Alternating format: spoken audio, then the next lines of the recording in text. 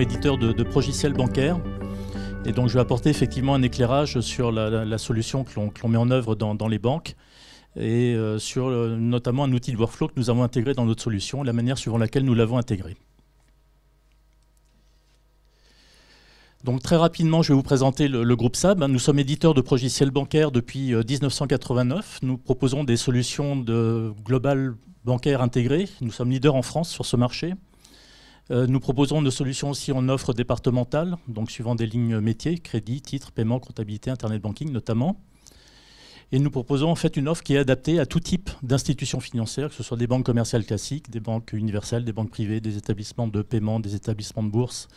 établissements de crédit et autres. Et nous sommes en complément éditeurs d'une solution de workflow, Flowmine, donc qui est présente sur le site donc à Mélan, euh, au sein de la structure qui s'appelle BPM ATC, euh, du fait d'une acquisition externe il y a 5 ans, donc euh, solution de, workflow qui a été éditée par l'éditeur W4.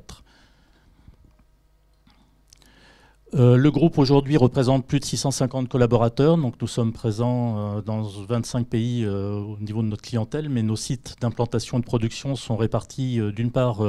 en France, à Paris, où se situe le siège, à Fontenay-sous-Bois en fait, euh, à Vannes, euh, Nice, Monaco, euh, pour la partie titre, valeur mobilière, allez savoir pourquoi. nous sommes présents aussi à l'international, donc avec des sites de production à Beyrouth, donc au Liban et en Tunisie, donc des grosses antennes de, production R&D. Et nous avons une antenne commerciale, donc SAB International, qui vise en fait à développer notre, notre commerce, notre business sur l'Asie, notamment l'Afrique de l'Est, euh, Moyenne et Proche-Orient, euh, sachant que l'activité est plutôt orientée sur l'Afrique francophone, on va dire, est gérée depuis Casablanca. Aujourd'hui, nous avons plus de 200 références dans différentes banques et institutions financières, donc nous adressons tous les marchés hein, de, la banque et de la finance. Et euh, vous voyez à travers les références que ça va aller de grandes institutions publiques comme la Caisse des dépôts et consignations, qui est équipée d'un ERP bancaire, pour une partie de son activité, puisqu'on va gérer la tenue de compte et les flux de paiement de la caisse, des dépôts, jusqu'à des établissements moins connus, comme par exemple la Banque Edel, qui est la banque des groupements Leclerc, hein, pour lesquels on va gérer aussi toutes les opérations liées au, paiement euh, des, opérations qui sont dans les, dans, les centres Leclerc. Et puis nous équipons d'autres banques, bien sûr, des filiales du groupe BPCE, de la Société Générale et autres, mais aussi des assureurs comme euh, AXA Bank ou Groupama Bank. Donc euh, Cerise, par exemple, euh, est, équipé de SAB pour sa partie activité bancaire. Donc pourquoi un progiciel dans la, dans la banque? En fait, ça correspond effectivement à une orientation stratégique des, directions bancaires qui vise à aller vers un système d'information complètement intégré et pour sécuriser leur, leur système de, production bancaire, euh, souhaitent mettre en œuvre en fait, des solutions pérennes, des solutions évolutives qui vont permettre effectivement de fiabiliser leur système d'information et de répondre aux enjeux d'évolution de, la banque, notamment à travers les, évolutions réglementaires, puisqu'aujourd'hui, il faut savoir que à peu près 50% des projets qui sont menés dans les banques visent à mettre en œuvre des, évolutions réglementaires, donc liées à des évolutions de la réglementation, donc ce qui pénalise fortement l'activité de la banque pour des résultats et une plus-value qui est, tout à fait négligeable. Donc dans ce cadre, nous euh, proposons un logiciel intégré et modulaire, qui a été conçu comme tel dès l'origine, un T89-90. Donc quand on a commencé à travailler sur le développement de ce produit,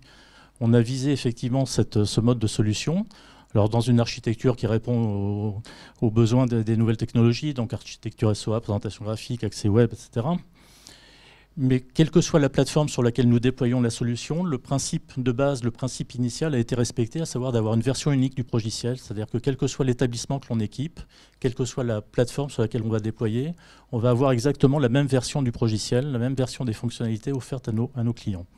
Et donc on va de fait avoir une richesse fonctionnelle très importante au niveau des, des modules fonctionnels qui va être euh, acquise en fait par les évolutions que l'on va apporter au produit du fait d'investissements que l'on réalise, du fait des demandes que nos clients, des demandes d'aménagement que nos clients peuvent faire, que nous intégrons systématiquement à la version standard du progiciel, et de par les évolutions que nous apportons liées à des travaux qui sont menés dans le cadre de clubs utilisateurs, qui regroupent effectivement un certain nombre de nos clients et qui décident d'évolutions à apporter au progiciel pour répondre aux besoins du marché et répondre aux évolutions réglementaires. Donc, une version unique implémentée dans les établissements, mais un paramétrage effectivement qui va permettre à chacun d'entre eux de configurer le produit en fonction de son organisation et en fonction des produits qu'ils commercialisent, des règles de gestion, des règles de tarification, etc. Autre concept pour la personnalisation, on met bien sûr en œuvre dans le progiciel euh, des outils qui vont permettre de communiquer, d'échanger avec des systèmes externes, que ce soit d'autres systèmes d'information présents dans l'établissement bancaire ou des systèmes externes, des systèmes de place ou euh, partenaires euh, extérieurs. autre point d'ouverture, ce sont les développements que la banque peut elle-même réaliser. donc nous donnons la possibilité effectivement aux établissements de développer d'appeler des programmes qu'ils développent. Et ces développements peuvent être faits en mettant à disposition un atelier de développement, notre atelier de développement que nous leur, euh, mettons à disposition pour faire leur développement. Donc la couverture métier est très complète. Hein. je ne vais pas passer dans le détail de chacune des fonctionnalités bancaires, bien sûr. Mais sur le principe, dans ce modèle qui est un modèle dit euh, distribution-production, en fait, on va trouver un certain nombre de fonctions de distribution qui vont s'appuyer sur des canaux de distribution, des outils de mobile banking, d'internet banking, les call centers, les GAB et autres, euh, puis les systèmes agences classiques bien sûr. Donc des fonctions de distribution, des fonctions de production, donc qui vont permettre de gérer les contrats et les opérations qui auront été initiées euh, à travers les fonctions de distribution, le tout alimentant des systèmes de synthèse, donc système comptable, système réglementaire, système de contrôle anti-blanchiment, outils de pilotage et autres, et en s'appuyant sur un certain nombre de référentiels qui sont des référentiels clients, compte, contrat, euh, conditions, etc et un référentiel aussi de, processus, processus métier, sur lesquels on va s'appuyer pour faire de la personnalisation au sein de l'établissement bancaire. Alors les concepts de base que l'on a mis en œuvre hein, dans, le développement et que l'on maintient depuis, l'origine, mais qui, doivent être ceux de, de tout ERP bancaire qui se respecte, c'est une gestion temps réel, bien sûr, des opérations, de manière à pouvoir contrôler le risque en temps réel, alimenter les positions du client, pouvoir suivre, avoir une vision globale temps réel de l'activité d'un client, euh, un système bien sûr automatisé, que ce soit dans la gestion des tâches et les échanges entre les métiers et les acteurs, mais aussi dans le traitement des opérations. Être multi-tout, je m'excuse, mais on est multi-tout aussi. Donc multi-entité, qui permet de s'adapter à l'organisation de l'établissement, multi-établissement, multi-agence,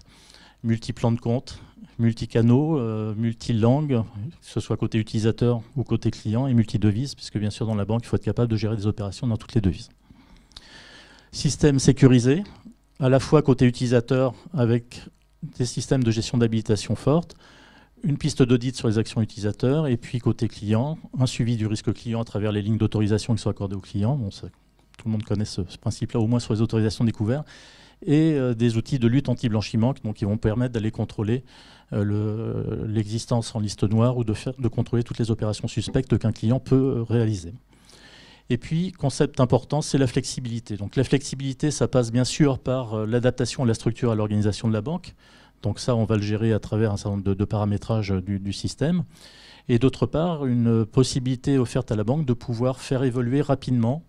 les produits sans avoir besoin, encore une fois, de faire appel à l'éditeur. L'objectif, c'est vraiment que l'établissement puisse avoir la main pour faire évoluer son produit, commercialiser rapidement, être réactif face aux évolutions du marché faire évoluer notamment la tarification, malheureusement, ça évolue très rapidement, et être à même aussi de pouvoir produire très rapidement euh, le reporting, que ce soit du reporting interne ou du reporting réglementaire, au regard des, évolutions qui sont apportées dans la réglementation. Donc pour gérer cette flexibilité et cette ouverture, ben, nous avons mis un outil de workflow euh, au centre de notre architecture. Donc je passe sur l'architecture applicative entière. Mais effectivement, nous avons un outil de workflow euh, au centre de, cette architecture qui va orchestrer en fait tous les processus métiers qui vont être exécutés dans le cadre des opérations bancaires. Et donc, il va interagir avec les différents outils, que ce soit des outils, euh, des, web services, des services métiers, les, les, outils éditiques, les outils JET que nous mettons à disposition dans notre solution. Donc la solution de workflow que nous, mettons en œuvre, donc, qui est euh, diffusée par, éditée et diffusée par la, société BPM ATC, donc présente à Mélan, euh, donc une solution BPM qui permet de définir, d'orchestrer les, processus métiers, donc les tâches, les activités, les routages, les transferts d'activités vers les utilisateurs, gérer les délais d'exécution, les alertes, etc. Donc c'est une solution BPM classique en soi. Euh, et donc nous avons nous euh, mis en œuvre cette solution, nous l'avons intégrée avec SAP, donc à travers les différents outils que propose la, solution. Donc, pour aller assez vite sur euh, ce qu'offre la solution, donc il y a quatre fonctions principales. Donc une fonction de modélisation, donc euh, qui s'appelle Flowpoint, hein, qui permet de, en mode graphique, dessiner le, processus métier et de le faire valider, de le, discuter avec les utilisateurs. Donc c'est plutôt un, outil orienté maîtrise d'ouvrage, on va dire. Un, outil d'implémentation, donc l'étape suivante. Donc on reprend le, processus tel qu'il a été modélisé, et puis là on fait son implémentation technique. Donc ça c'est avec l'outil Flow Composer, qui va permettre donc de gérer les interactions avec les différentes, euh, couches techniques. Euh, un moteur d'exécution donc de ces processus. Donc une fois qu'ils ont été générés, donc euh, BPM Engine euh, Flowbox, qui va permettre en fait de, gérer l'exécution des processus avec une interaction utilisateur à travers une boîte à tâches, donc Inbox, euh, qui va permettre d'alimenter en fait l'utilisateur des tâches qu'il a exécutées dans le cadre de l'exécution d'un processus bancaire. Donc tout ça est euh, ensuite euh, supervisé par des outils qui vont permettre de suivre l'activité des processus, des tâches, euh, l'utilisation des, processeurs, etc. Donc tout ça, c'est des outils de supervision et, des tableaux de bord en fait sur l'utilisation des, processus. pour intégrer cet outil avec SAD, nous avons travaillé sur la base des, composants et des, API mis à disposition par l'outil Flowmind, donc des, API d'interaction qui vont permettre d'interagir avec l'utilisateur dans les fonctions transactionnelles et les fonctions d'intégration, donc qui vont permettre d'échanger avec les, services, euh, les services métiers, la, base de données, etc. Donc l'outil Flowmind en tant que tel n'est pas un outil dédié à SAP, c'est un outil du marché qui est utilisé aujourd'hui par d'autres euh, éditeurs, par euh, des clients directs, hein, des administrations, des ministères, des euh, mutuelles hein, qui utilisent et qui ont développé des, applications à l'aide de, de. Et donc, c'est un outil aujourd'hui qui est compatible avec différents OS, différentes bases de données, qui respectent tous les protocoles de communication et qui euh, aujourd'hui fonctionne en mode serveur d'application aussi, avec notamment WebSphere pour les besoins de, de SAB, mais d'autres serveurs d'application sont aussi, sont aussi utilisés ou utilisables. Donc ça, c'est une autre modélisation de l'outil, mais on retrouve les, mêmes concepts.